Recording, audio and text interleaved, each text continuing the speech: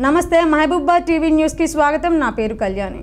గణతంత్ర దినోత్సవాన్ని పురస్కరించుకొని మహబూబాద్ పట్టణం గిరినగర్ పదిహేనవ వార్డు సిపిఎం కార్యకర్తలు వినూత్నంగా నిరసన వ్యక్తం చేశారు. కాలనీలో జాతీయ జెండా ఆవిష్కరణ అనంతరం లక్ష ట్రాక్టర్లతో రైతుల ప్రదర్శనకు మద్దతుగా మోకాళ్ళపై కూర్చొని నిరసన వ్యక్తం చేశారు.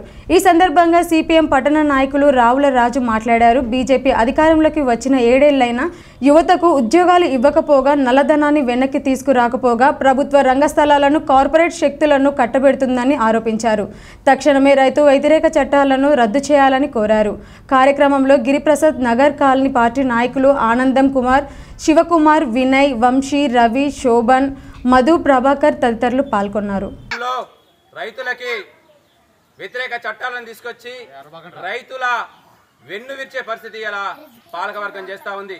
బీజేపీ అధికారంలోకి వచ్చేనాడు నేను అధికారంలోకి వస్తే నల్లధనాన్ని వెనక తీసుకొస్తా సంవత్సరానికి రెండు కోట్ల ఉద్యోగాలు ఇస్తా.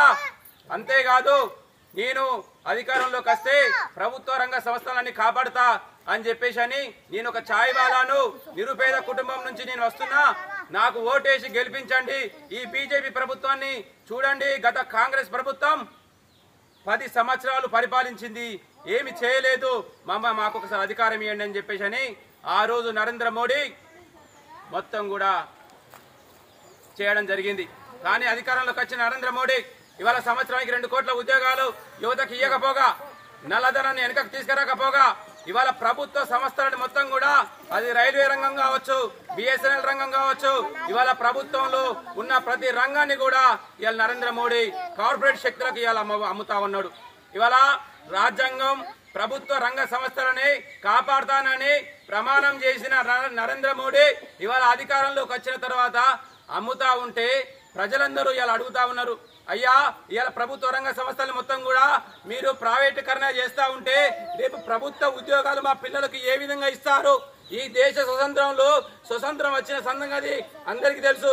స్వేచ్ఛ స్వతంత్రం అంటే ఇవాళ ఉపాధి విద్య వైద్యం అనేది అందరికీ అందాల్సిన అవసరం ఉంది. కానీ ఇవాళ విద్య ప్రైవేటీకరణ అయిపోయింది. ఇవాళ వైద్యం ప్రైవేటీకరణ అయిపోయింది. ఇవాళ ప్రభుత్వ రంగంలో ఉన్న ప్రతి రంగం కూడా ప్రైవేటీకరణ అయితే ఇవాళ బతుకు తెరువు ఏంది? ఇవాళ పిల్లల పిల్లలకి మా భవిష్యత్తులో ఉన్న తర రాబోయే తరాలకు ప్రభు ప్రభుత్వ ఉద్యోగాలు ఎక్కడి నుంచి ఇస్తారు? ఇవాళ ప్రభుత్వ రంగాలు మొత్తం అమ్ముకుంటే అని చెప్పేసి ప్రశ్నిస్తా ఉన్నాం.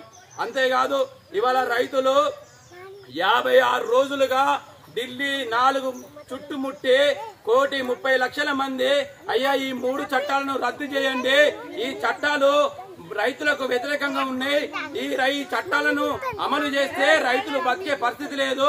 కాబట్టి దీన్ని రద్దు చేయమని చెప్పేసి అని ఇవాళ చిట్- ఢిల్లీని ముట్టడిస్తే ఇవాళ నరేంద్ర మోడీ ఇవాళ అనేక మాటలు చెప్తా ఉన్నాడు. ఇవాళ రైతులు కాదు వాళ్ళందరూ ఇలా పాకిస్తాన్ ఉగ్రవాదులు అంటాండు. అంతేకాదు వాళ్ళు తీవ్రవాదులు అంటాండు. ఇంకో మాట చెప్తాండు. అయ్యా వీరు తీవ్రవాదులు ఉగ్రవాదులు అయితే మీరు ఎట్లకు చర్చలకు పిలిచి మాట్లాడినరు అని చెప్పి సమాధానం చెప్పాల్సిన అవసరం ఉంది. ఇవాళ ఓ పక్క చర్చలకు పిలిచి మాట్లాడుతూ ఉన్నారు. బయట మాత్రం ఇవాళ రైతులను బదనం చేస్తూ వాళ్ళు ఉగ్రవాదులు అని చెప్తా ఉన్నారు. ఇవాళ మేము సిపిఎం పార్టీగా డిమాండ్ చేస్తా ఉన్నాం. తక్షణమే రైతు వ్యతిరేక మూడు చట్టాలను రద్దు చేయాలి. ఈ మూడు చట్టాలు రైతులకు వ్యతిరేకంగా ఉన్నాయి. ఈ చట్టాలు ఇవాళ రైతులకి ఇవాళ గిట్టుబాటు ధర కల్పించాల్సిన రైతు చట్టం ఇవాళ గిట్టుబాటు రైతుకు మేము కల్పించకపోగా ఇవాళ మీరు కార్పొరేట్లకు ఎక్కడికైనా పోయి అమ్ముకోమంటాడు. ఎక్కడ పోయి అమ్ముకోవాలి? ఎకరం రెండు ఎకరాలు ఉన్న రైతు ఏ దేశం పోయి అమ్ముకుంటాడో ఇవాళ నరేంద్ర మోడీ బీజేపీ పార్టీ చెప్పాల్సిన అవసరం ఉంది. అందుకోసమే ఇవాళ ఆ రైతు చట్టాలను వ్యతిరేకిస్తున్నాం. ఇవాళ అందుకోసమే లక్ష మందితో ఇవాళ జనవరి ఇరవై ఆరున ఢిల్లీలో కవాతు చేస్తా ఉంది. రైతులు మొత్తం కూడా లక్ష ట్రాక్టర్లతో చేస్తా ఉన్నారు.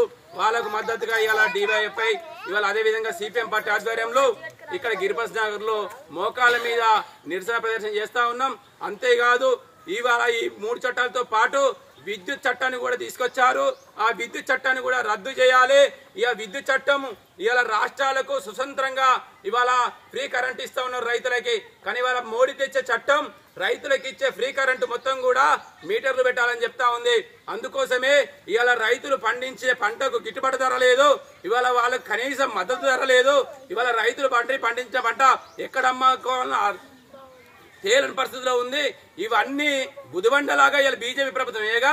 అదనంగా ఇవాళ కరెంటు ఛార్జీలు ఇలా రైతుల పేరు మీద మళ్ళీ తెచ్చి ఇలా వేస్తా ఉంది. కాబట్టి తక్షణమే ఈ చట్టాలను మొత్తం వెనక తీసుకోవాలని చెప్పేసి అని డిమాండ్ చేస్తా ఉన్నాం.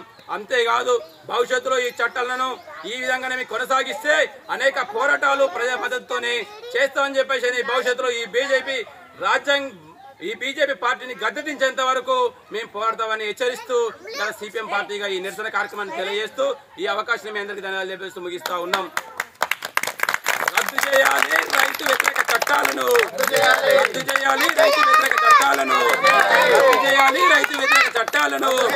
రద్దు చేయాలి రైతు వ్యతిరేక చట్టాలను. మోడీ! మోడీ!